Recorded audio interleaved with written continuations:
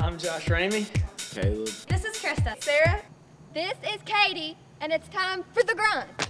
That was that was cold, bro. Hang on. How do I do?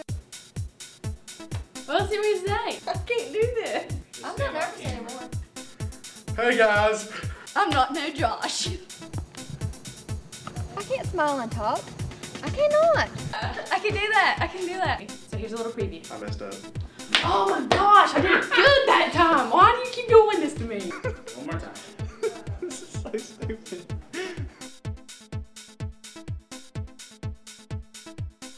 Today is Thursday, September 6th. I'm Krista, and these are your morning announcements.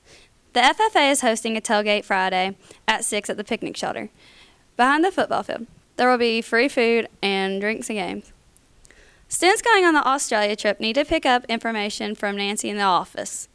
And here's Mr. Barton talking about the upcoming school play. All right, we are being joined in studio today with Mr. John Barton, the theater director here at LCHS, to talk about our upcoming community play. A Little Theater's production of Hamlet by Jean Battlo. Uh, she's a West Virginia native from McDowell County. Uh, the play's set in Kimball, West Virginia, her hometown.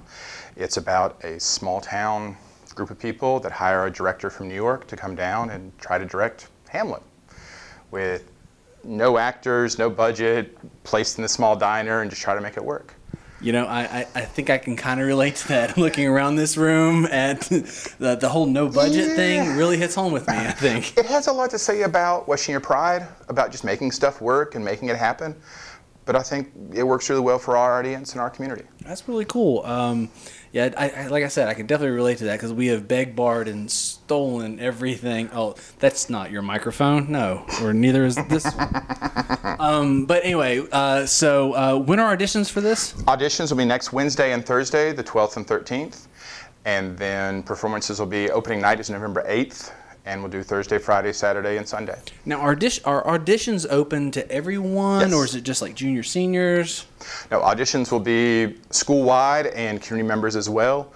Uh, students will, of course, be given you know preference, but all kinds. We've got roles for six females, two males, plus crew and tech to run it as well. Yeah, the crew and tech. I mean, if you guys get into that kind of stuff, definitely see this man about that kind of stuff. Yes, it is please. really cool because uh, I've been up in the sound booth and it is. Uh, it's, it's It's a nice interesting. theater. It It's a nice theater. It is. It is. I, I was really like when I first came into this a couple years ago. I came to do a presentation. I was like, "What? They have this in, Mm-hmm. in this place?" It, it was pretty amazing. So, anyway, if you guys have the theater bug, you want to try out freshmen, I encourage you guys. I know some of you guys that are really like outgoing and stuff. I think you would, would do really well with this. So come on out, audition, and uh, hopefully we'll see you at the play Signs go up this week.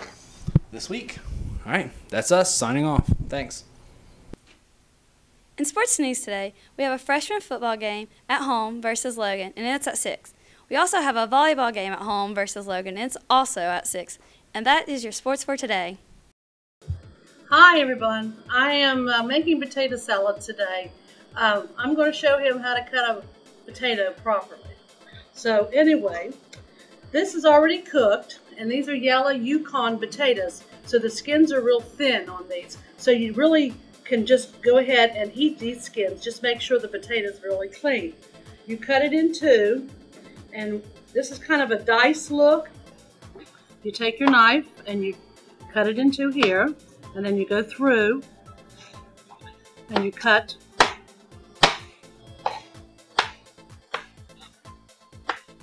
These are still hot so that's why they're mushing up. But um, once you get um, them all chopped up if you don't like the skins you can take them off. But i eat the skins because they're very good and high fiber and i leave them in my potato salad. So would you like to try to cut a potato? Yes, I'll try that. alrighty here we go So you slice it in half again. Stay that way with it. Never come back towards the knife. So go forward. Yeah, always forward. And then you cut it. Uh-huh. You never go towards you. And then you put it into the potato salad. Mm-hmm. Now you keep doing it. and you'll- you have it. Keep going. Now these are good Yukon potatoes, and you don't always get these uh, year round. But right now they're really plentiful, and that's why potato salad is extremely good. Uh, these Yukon potatoes were at Save-A-Lots this week for $1.98, and so I went ahead and bought some. And the kids all like potato salad, so that's why we're going ahead and make it. He's got this down pat now, doesn't he? Isn't this great? Yeah, keep going, Cameron. We'll have the potatoes done here in a couple minutes. All righty. Thanks, Miss Fraley. Well, you're welcome. You come back in the kitchen anytime. That's cooking with Miss Fraley. Testing. Testing. One, two, three. Testing. You, your mother. And don't forget, guys, you can look us up on YouTube or tweet at us at LCHS Pride. Yes. Don't interrupt. All right, here we go. One, two, three.